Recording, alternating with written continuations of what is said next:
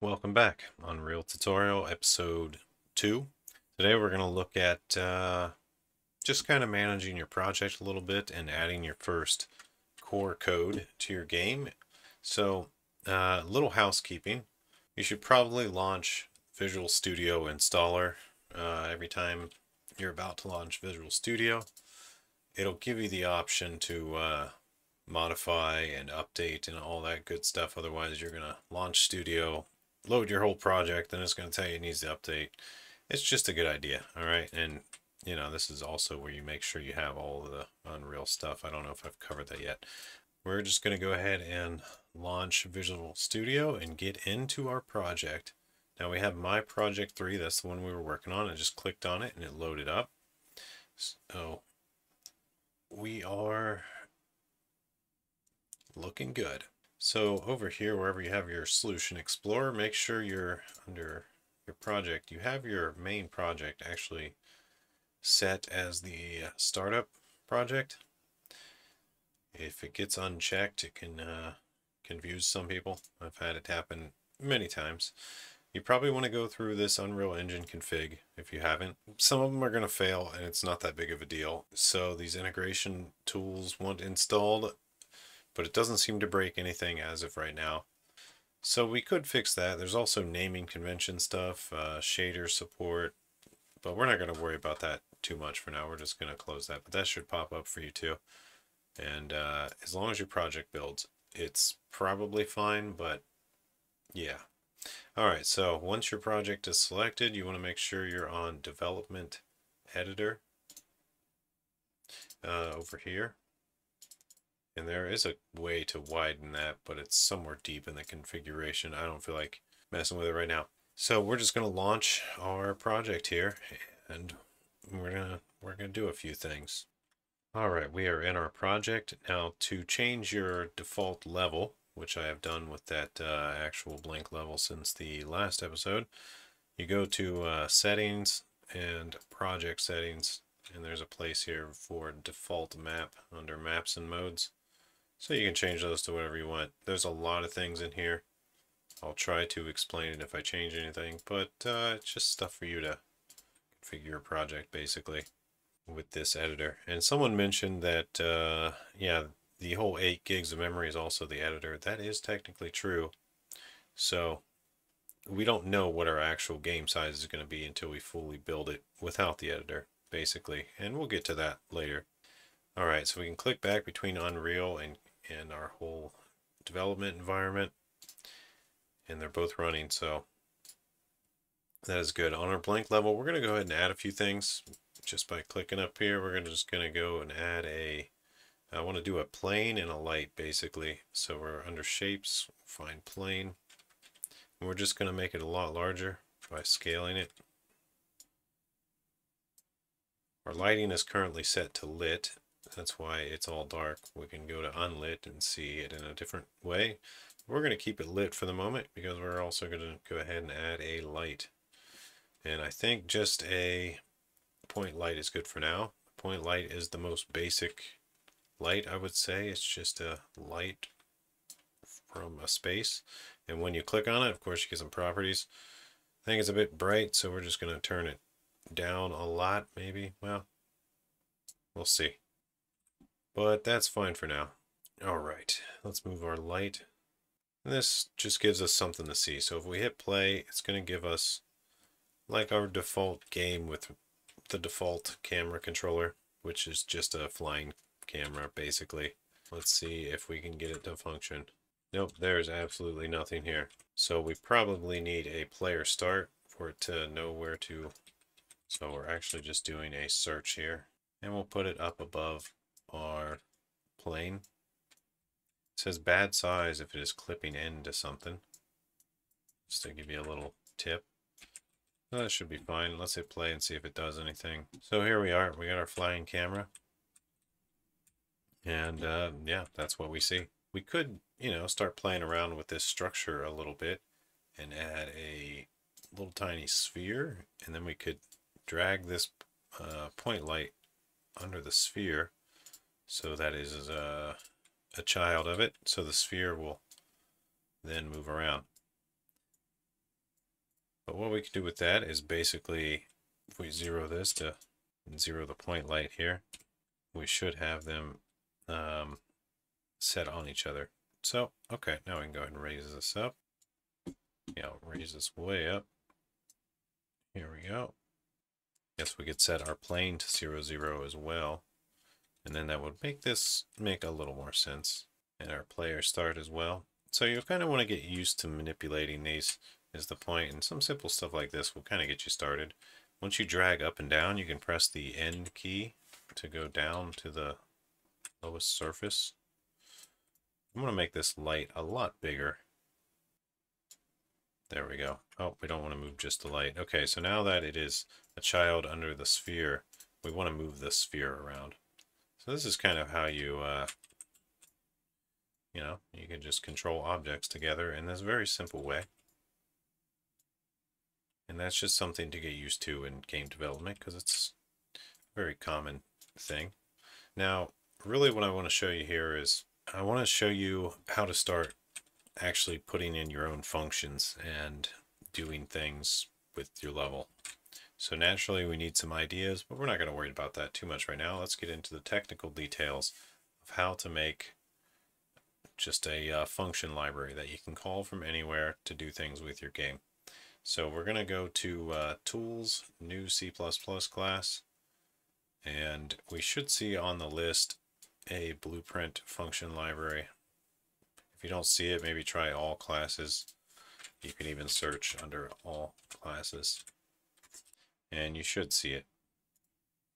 So you just click on it, or if you click on here, it's the same thing under common classes, and you click next. Now, as long as you do not click public or private, it doesn't do that nonsense and it just leaves it in a flat hierarchy, which is how we want this. So we're not going to click either of those, and we're going to give it a name. Uh, we'll just call it uh, our function lib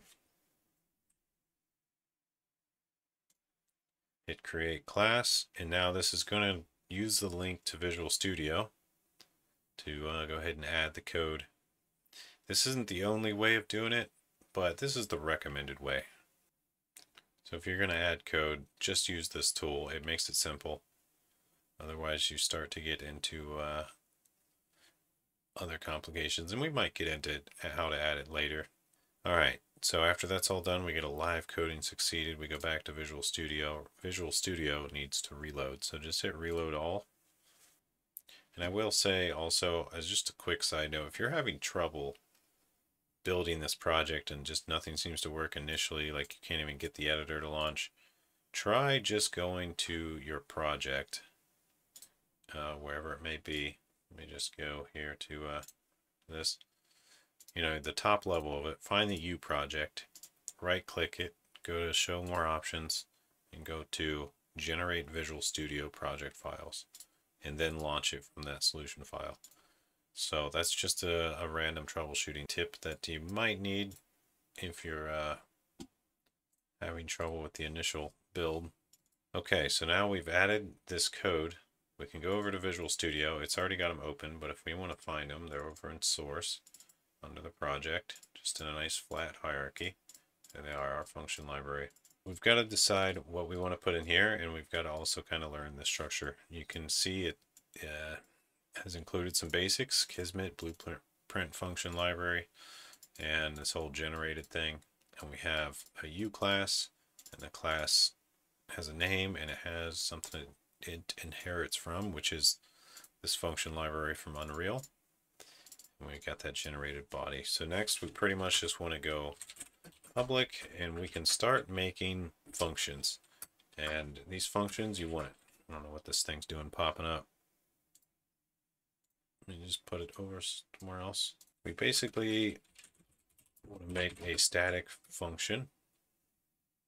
Uh, we'll just call this one like uh, interact or something. But your function now you can see this is pretty standard C++ for something you kind of want to be global. It's uh, defined in a header and it's static. But to expose it to Unreal, we got to go U property and in here put blueprint callable. Okay, so we found the documentation from Unreal and we can see that we were making a core ish uh, core problem of using u property instead of u function. So, uh, my bad. Yeah, we'll just maybe cut that cut that up a little bit and see if that helps. Should be a little happier after that. Uh, we probably have to close the editor and let's just take a look at their, okay, they don't define it here. I guess they're defining it uh, in their other file, which makes sense. And I think uh, Visual Studio will help a little bit with this. Like if you right click and go to option under quick actions and refactoring, otherwise you have to do it manually. But it's going to go ahead and figure that out for us, so that's nice. And we have a blank definition here of interact. Let's see if this runs correctly. Let's just hit the run button. Okay, seems to be fine. So what we can do now is we can actually start using that function pretty much anywhere. For example, um, so if you want to like control how your map does things, you can go to its blueprint. All right, we're just going to go look at that. We can go to, I guess we go to open level blueprint. So this comes with the level. Now keep in mind, if you put a bunch of stuff in here, it's going to make your level laggy. All right, we're going to drag this into our current editor so it combines. All right, so the main thing we want to do here is show that we're in a blueprint because you're going to use blueprints all the time. It's kind of their main thing. And we want to make sure we can find our interact.